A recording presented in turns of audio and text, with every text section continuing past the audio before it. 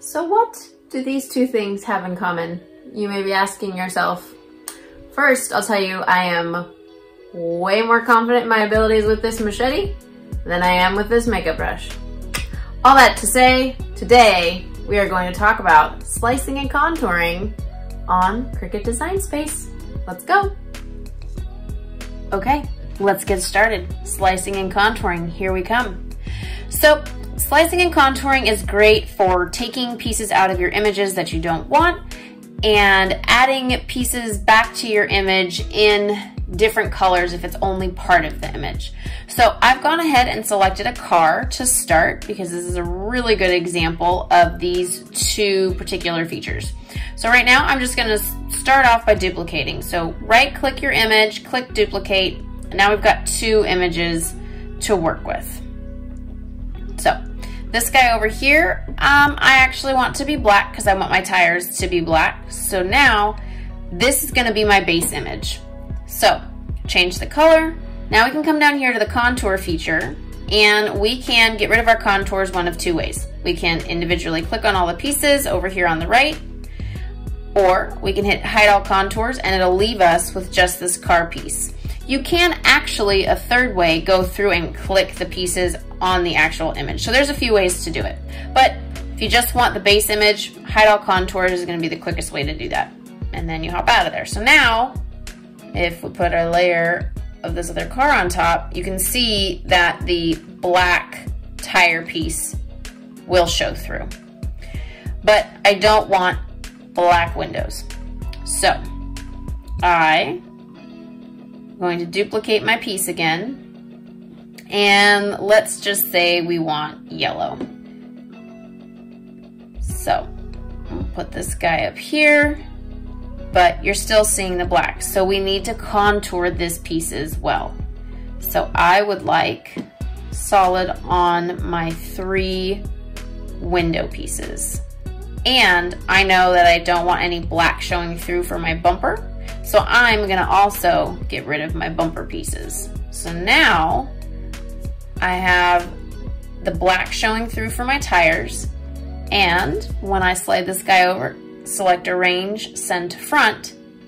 Now I have the yellow for my windows and I have the black for my tires. But I I don't want a yellow bumper. I want a white bumper. So rather than trying to find a shape that matches it, I will be using the slice function. Again, I'm going to duplicate so I have my top piece that's gonna stay the same and then I'll be working with this other piece over here. Actually, let's leave this one for later. This is the one we'll work with. So, let's first contour this guy, get rid of the little holes here for my bumper. So when we slide this on top, We've got our black layer on the back for the tires. We've got our yellow layer for our windows. And then we have thirdly our orange layer for the top part of the outside of our car. But we'll use this car to create the bumper detailing that we want because I want white bumpers. So let's click on this guy. First, contour. I'm gonna hide them all again because I don't need any of those extra pieces for what I'm doing. I'm mostly focused on the bumper. So the front bumper here and the back bumper here. Now to isolate those pieces, we're gonna move this guy down here and grab a square. And we can make it a little bit smaller. The good thing um, about slicing is it, it gives you multiple layers and you can pick whatever colors you want. And if you don't like it, you can just come up here and click undo. So you want contrasting colors, at least I do when I slice because it's easier for me to see what I'm doing. So I'm gonna rotate this square a little bit. I'm gonna come over here and I'm gonna cover the front bumper portion of the car because that is the part that I want to change. So now you're gonna select your pieces. You can either hold down the shift key if you're on a Mac, square is selected, and then now the whole group is selected by clicking on that. Or you can come to your right hand panel, click there, hold shift, and click on your shape. Two ways to get to the same end. So now we can slice. slice and dice. So we'll save that part for later. But that is the piece that now I will turn white and ta-da, white bumper piece. Now, same for the back. I will take my square and adjust. I will select my car and slice.